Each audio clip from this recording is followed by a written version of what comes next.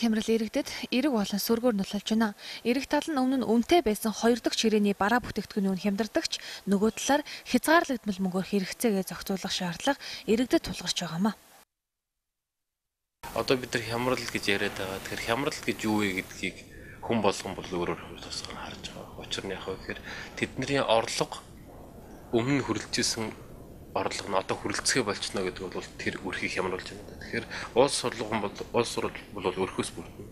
Тэр өрх гэртэл тодорхой хэмжээний хямрал мэдрэгдээд байна гэдэг бол улс орнд дан болж байна. Гэхдээ хямралаас гарах арга замыг бол хүн болгон өөрөөр өөрөөр харж байгаа бах. Гэхдээ орлогоо яаж нэмэгдүүлэх вэ гэдэг боломж нь буюу ажилд яаж орох уу тийм ажилд орох боломж нь ажлын байрны мэддэг байдлууд нь харьцангуй багасгаад байгаа учраас тийм хямралд нэрвдэх байдал бол нэмэгдэх гэдэг нэгдүгээр тулд авах чадвар мууч чинь хоёрдугаар энэ засаг төрийн явуулж байгаа энэ ажиллагаанаас болоод энэ нөөт мөөт гэдэг асуудлаас болоод энэ дэлгүүр худалдааны байгууллагуудын чинь үн 10% нэмэгдэж штэ голцоо.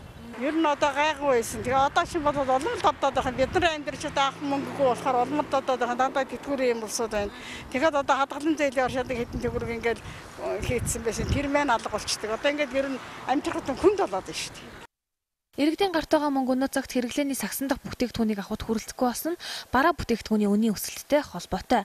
Харин хоёр дахь хэрэглээний бүтээгдэхүүний тухайд үнэн хямдарч 40-оос 50% үнэ буулгалаач иргэдэд ач холбогдолгүй тохиолдолд шаардлагагүй зардалд зарцуулах сонирхолтой болсон харагдж байна. Энэ нь хэмнэлтийн горимд шилжиж байгаа хэрэг гэж эдийн засагч үзэж байна.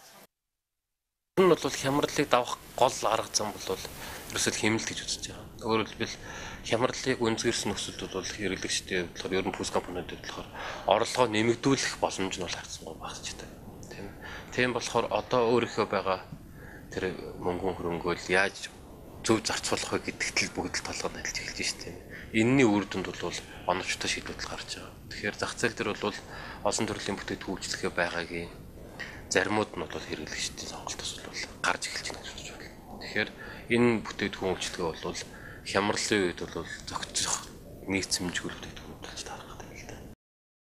Эдийн засгчд үзэж байгаагаар Монгол Улсын эдийн засгийн нөхцөл байдал 2018 он хүртэл өнөөдрийнх шиг байх болов уу гэсэн прогноз гаргасан. Тиймээс энэ хямралыг хувьсамтгай орлоготой бизнес эрхлэгчдээс илүү тогтмол ажил орлоготой хүмүүс давж чадах юм байна.